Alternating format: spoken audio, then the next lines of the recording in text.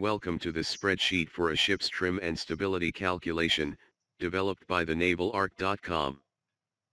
This spreadsheet can be used to calculate the floating condition draft, trim and stability of a vessel or a barge as per the IMO stability requirements.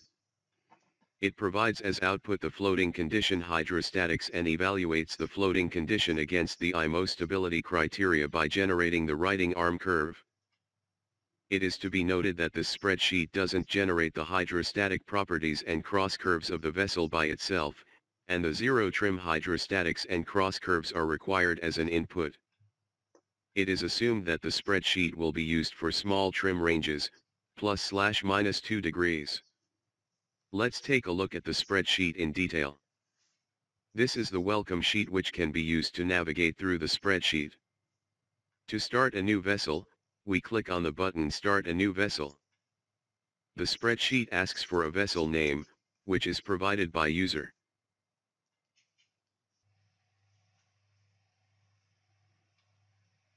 The next step is to input the principal particulars of the vessel. This includes the dimensions, sign convention, lightship weight, projected wind areas, and bilge keel data. We should save it before going back to main menu.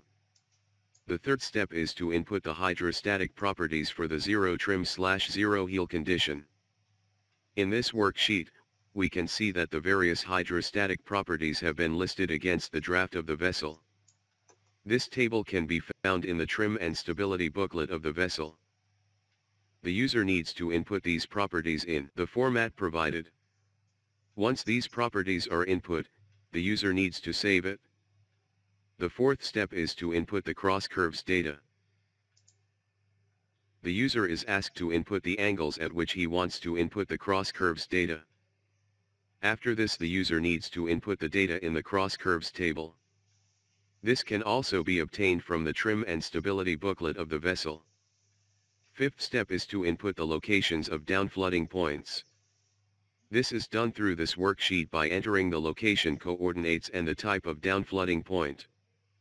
This is to be provided in the same sign convention as stated in Principal Particulars sheet. The sixth step is the tank properties. In this worksheet, the user should define the tanks of the vessel. The type of tank can be selected, and the capacity and geometry details are to be provided.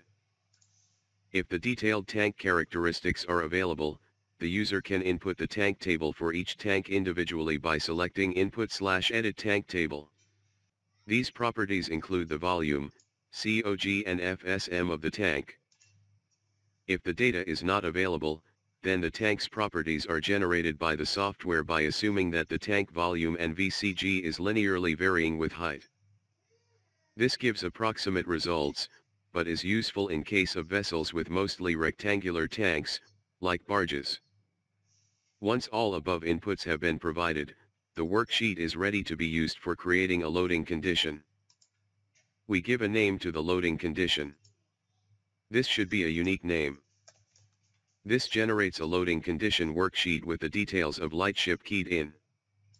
The tanks are also listed, and user can input the filling level in the tanks. Any additional items like deck cargo or provisions can also be added. Once the loading condition is created and saved, the user should click Solve Loading Condition to get the floating hydrostatics of the vessel. This will calculate and report the floating condition draft, trim and other hydrostatic properties. Next is stability evaluation for which the user needs to click the button Check Stability. Upon clicking this button, the user is asked the IMO criteria applicable, whether the IMO general criteria for all ships is to be applied, or the IMO criteria for barges is to be applied. If the vessel is a regular sea-going ship, the first is to be selected. If the vessel is a barge, the second is to be selected. Next the software generates the righting arm curve and evaluates all the IMO stability criteria and checks it against the rule requirements. It also checks the IMO wind criteria for the loading condition.